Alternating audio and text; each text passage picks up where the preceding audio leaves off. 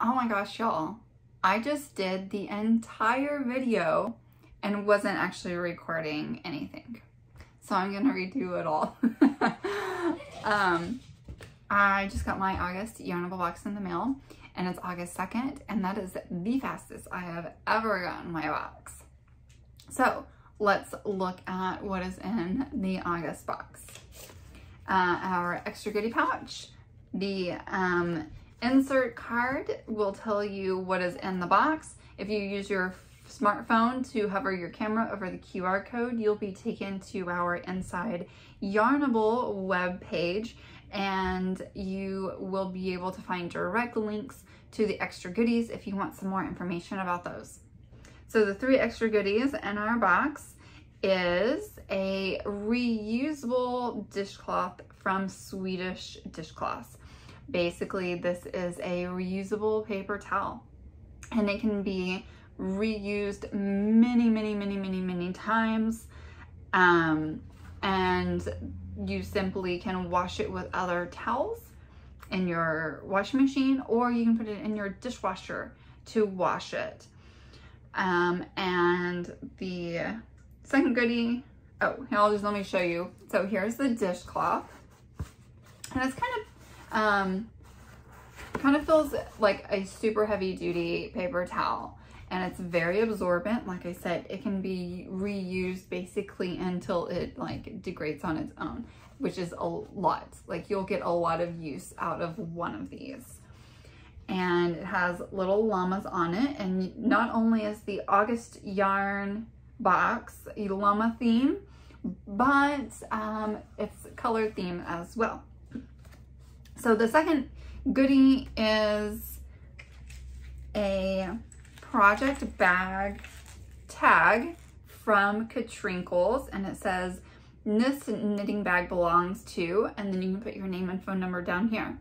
Now please remember that wood is porous so any marker including Sharpies will bleed.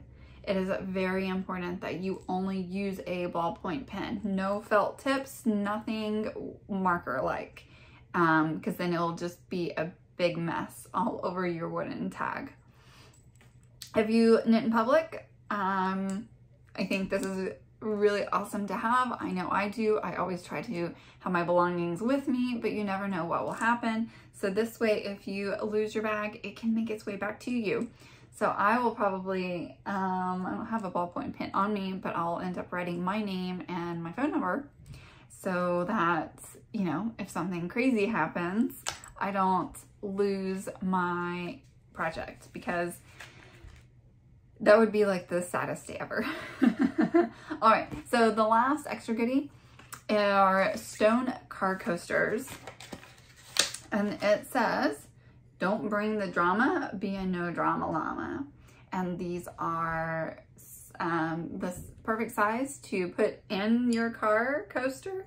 And um, the stone is absorbent, so you don't have like a bunch of moisture and condensation all in your car. But if you do, you have a reusable paper towel. and you should have two of these and that's um, also orange, which ends up matching the yarn.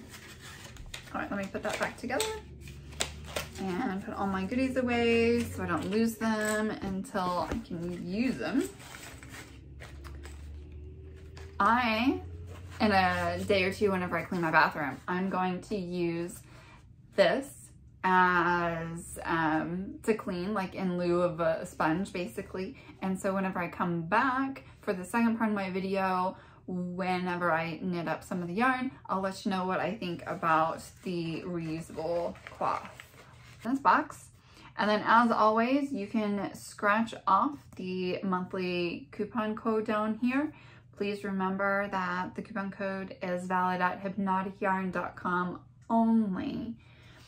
It um, will, it um, the coupon code is not valid on your Yarnable box. Okay, now the yarn. So the yarn is called Sweet and Sour. And as you can see, it's the same colors as the, the dishcloth. So we have orange and like a blush pink and then I would probably call that like a a dark salmon, probably. And then of course there's some speckles. Now, as I've done the past two months, I'm going to make a pair of socks. I have picked out a pattern. I'm going to use um, the latest sock pattern from Dragon Horde Yarn. It's called Vintage Riding Socks. I, I believe that is the, the correct name, but I will link it down below um, whenever I post up this video so you can find that pattern as well. All right, so I'll be back in a couple of days after I've had time to knit a little bit and so you can see what it looks like knitted up and I will let you know what I think about um, these. I'm very excited to use it. All right, see y'all later. Hello. All right, I am back with the start of my August sock. I am using uh, a sock pattern by Dragon Horde Yarn. It's called Vintage Riding Socks. And, all right, so the August colorway is called Sweet and Sour. And this is what the yarn looks like wound. I, we moved about two months ago and I have not been able to find my Swift. So I actually hand wound this ball and I realized, uh, thankfully, hand winding this one went well because sometimes it can be a pure disaster. But um, anyway, I ordered a new Swift, so I have it now, but I hand wound this ball. And uh, so here's what it looks like wound. Um, let's get that back in there. And here's what it looks like knitted as my sock. So there we go. Uh, and you can see the design. I changed some of the design and I will explain why. So that's stockinettes and it looks very pretty with the design. It's a little more um, like mixed up a little bit. I prefer my socks to be knit with 56 stitches and the pattern, the smallest size was 60 stitches, which is fine. Um, and that's also what fit the, the, the pattern design that she has. I didn't really want to do that. So I really wanted to uh, use 56 stitches. So I um, removed some of the, the stitches uh, in, in the pattern and then I also removed bobbles.